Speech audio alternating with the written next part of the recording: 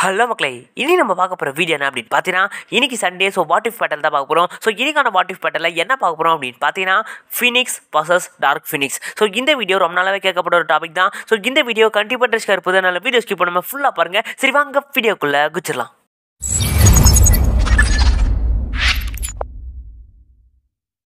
Phoenix versus Dark Phoenix so இந்த ரெண்டு பேர் ரொம்பவே பவர்ஃபுல்லான ஓவர் பவர்டான கிரியேச்சர்ஸ் தான். ஸோ ரெண்டுமே க்ரீக் மெத்தாலஜிலும் சரி சைனீஸ் மெத்தாலஜிலும் சரி சொல்லப்பட்ட ஒரு சம பவர்ஃபுல்லான கிரியேச்சர்ஸ் ஸோ இந்த ரெண்டுத்தோட பவர்ஸ் என்ன அப்படின்றத அனலைஸ் பண்ணிட்டு அதுக்கப்புறமா வின்னர் யார் அப்படின்றத சொல்லிடுவோம். ஸோ இந்த வீடியோட கீழே டிஸ்கிரிப்ஷனில் ஃபீனிக்ஸோட பவர்ஸ் நான் நான் தனியாக எக்ஸ்பிளைன் பண்ணியிருக்கேன். டார்க் ஃபினிக்ஸை பற்றி தனியாக எக்ஸ்பிளைன் பண்ணியிருக்கேன். ஸோ அந்த ரெண்டுத்தோட வீடியோட லிங்க்கும் கீழே இருக்குது வேணும் அப்போ செக் பண்ணி பாருங்க. ஸோ முதல்ல டார்க் ஃபினிக்ஸ் கிட்டே வந்துருவாங்க. ஸோ கண்டிப்பாக நிறைய பேருக்கு டார்க் ஃபினிக்ஸ் அப்படின்னு சொன்ன உடனே மார்வலில் வர அந்த டார்க் ஃபினிக்ஸ் தான் ஞாபகம் வரும். பட் உண்மையாகவே க்ரீக் மித்தாலஜிலும் சரி சைனீஸ் மித்தாலஜிலும் சரி ஒரு டார்க் ஃபினிக்ஸ் அப்படின்னு ஒரு கிரியேச்சர் இருந்திருக்கு. ஸோ அது ரொம்பவே டார்க்கான ஒரு கிரியேச்சர் டார்க் ரெப்ரசன்ட் பண்ணுற ஒரு கிரியேச்சர் அப்படின்னு சொல்லப்படுது. ஸோ இந்த கிரியேச்சரால் வாட்டரை கண்ட்ரோல் பண்ண முடியும். அது மட்டும் இல்லாமல் ஒரு ஓவர் பவர்டான கிரியேச்சர் மக்களுடைய மனசை புரிஞ்சுக்கிட்டு அவங்களுக்கு எதிராக செயல்பட முடியும் அப்படின்னு சொல்லப்படுதுங்க. ஸோ இது மக்களை தீனியாக உண்ணக்கூடிய ஒரு கிரியேச்சர் அப்படின்னு சொல்லப்படுது. அது மட்டும் இல்லாமல் இது ரத்தத்தை தேடி அலையிற ஒரு கிரியேச்சர் அப்படின்னு சொல்லப்பட்டிருங்க. ஸோ இது ரொம்பவே ஒரு கொடூரமான கிரியேச்சர் ஒரு டார்க்கான கிரியேச்சர் ரொம்ப ஒரு ஈவிலான கிரியேச்சர் ஸோ இது அப்படியே ஃபீனிக்ஸ்க்கு ஆப்போசிட்டுங்க ஆனால் ஃபீனிக்ஸை விட கொஞ்சம் பவர்ஃபுல் அதிகம் அப்படின்னு தாங்க சொல்லணும் ஸோ இதால் வேற லெவல் பவர்ஃபுல்லாக பறக்க முடியும்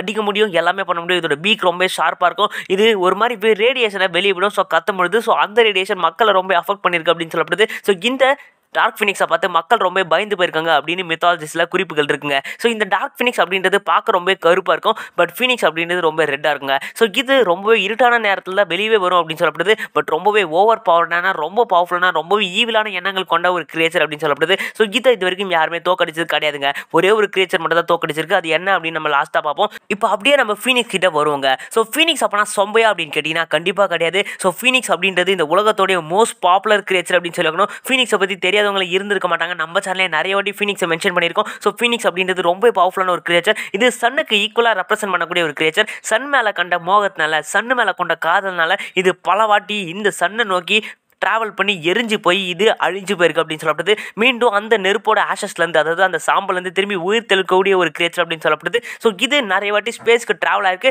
பட் இறந்து போயிருக்குங்க. பட் டார்க் ஃபினிக்ஸ் அப்படின்றது ஸ்பேஸ்லேயே உயிர் வாழக்கூடிய ஒரு கிரியேச்சர் இது ஒரு ஏலியன் கிரியேச்சர் அப்படின்னு கூட சொல்லாங்க. ஸோ ஃபினிக்ஸ் அப்படின்றது ரொம்ப பஃபுங்க இதால் எவ்வளோ தூரம்னால பறக்க முடியும்? அதோட கால்கள் ரொம்ப ஷார்ப்பாக இருக்கும் ரொம்ப பீக் ஷார்ப்பாக இருக்கும். இது செம்ம பவர்ஃபுல்லான ஒரு இம்மாடல் கிரியேச்சர் இந்த உலகத்தோடைய மோஸ்ட் பவர்ஃபுல் கிரியேச்சர் அப்படின்னு கூட சொல்லியாங்க ஸோ ஃபினிக்ஸை பற்றி பெருசாக நிறைய சொல்லப்பட்டிருக்கு. இதுக்கு ஓவரான பவர்ஸ் இருக்குங்க. ஓவர் பவர் ஒரு கிரியேச்சர் ஸோ இதால் எவ்வளோ வெயிட் ஆனாலும் ஈஸியாக தூக்க முடியும். So Dark Phoenix versus Phoenix அப்படின்ற ஒரு பேட்டில் நடந்துச்சுன்னா என்ன ஆகும் அப்படின்னு பார்த்தீங்கன்னா டார்க் ஃபினிக்ஸ் அப்படின்றது கொஞ்சம் எக்ஸ்ட்ரா பவர் தாங்க இந்த ஃபினிக்ஸை விட. ஏன்னா ஃபினிக்ஸோட ஒரு ஒரு ஈவில் வெர்ஷன் அப்படின்னு சொல்லணும். ஸோ ஃபினிக்ஸ் அப்படின்றது எந்த அளவுக்கு பவர்ஃபுல்லோ அதை விட கொஞ்சம் அதிகம் டார்க் ஃபினிக்ஸ் தாங்க பவர்ஃபுல் ஸோ ரெண்டுத்துக்குமே ஒன் வர்சஸ் ஒன் பேட்டல் நடந்துச்சு அப்படின்னா கண்டிப்பாக அதில் ஜெயிக்க போகிறது யார் அப்படின்னு பார்த்தீங்கன்னா ரொம்பவே டஃபஸ்ட் பேட்டில் தான் இந்த பேட்டில் போவோம். ஸோ கண்டிப்பாக இந்த பேட்டில் யாருமே ஜெயிக்க போகிறது கிடையாது. ஏன்னா ரெண்டு பேருமே அந்தளவுக்கு ரொம்ப ஈக்குவலானவங்க ஸோ கொஞ்சம் பவர்ஸ் அதிகமாக இருக்கே இந்த டார்க் ஃபினிக்ஸ்க்கு அப்படின்னு கேட்டிங்கன்னா பட் அது ரொம்ப ஈவிலான ஒரு எண்ணம் கொண்டது. ஆனால் ஃபீனிக்ஸ் அப்படின்றது ரொம்ப நல்ல உள்ளம் கொண்ட ஒரு கிரியேச்சர் அதனால் கண்டிப்பாக ஜெயிக்க போகிறது இந்த கிரியேச்சர் தாங்க ஃபீனிக்ஸ் தாங்க. ஏன்னு பார்த்தீங்கன்னா நான் முன்னாடியே சொன்னல ஸோ டார்க் ஃபினிக்ஸை ஒரு கிரியேச்சர் தோக்கடிச்சிருக்கு அப்படின்னு. ஸோ க்ரீக் மெத்தாலஜியில் குறிப்புகள் இருக்குது ஃபீனிக்ஸ் டார்க் ஃபினிக்ஸை தோக்கடிச்சா மாதிரிங்க. ஏன்னா எப்பயுமே குட் வெர்ஷன் தான் ஈவில் வெர்ஷனை தோக்கடிக்கும். ஸோ அந்த மாதிரி சுச்சுவேஷனில் டார்க் ஃபினிக்ஸை ஃபீனிக்ஸ் தன்னுடைய உயிரை கொடுத்து கிட்டத்தட்ட இறந்து போகிற நிலமையில அந்த டார்க் ஃபினிக்ஸை கொண்டு இது திரும்பிய உயிர் தெழுந்து வந்துச்சு அப்படின்னு சொல்லப்படுது. ஸோ ஆனால் அது கடைசியில் சாகலைங்க. ஃபீனிக்ஸ் அப்படின்றது ரொம்பவே அடிபட்டு கடைசியில் ரொம்பவே சாகிற நிலைமைக்கு பிடிச்சி பட் சாகலை. ஆனால் டார்க் ஃபினிக்ஸ் செத்துடுச்சு. ஸோ அப்படி பார்த்தீங்கன்னா எது பவர்ஃபுல் அப்படின்னு உங்களுக்கே தெரிஞ்சிருக்குங்க.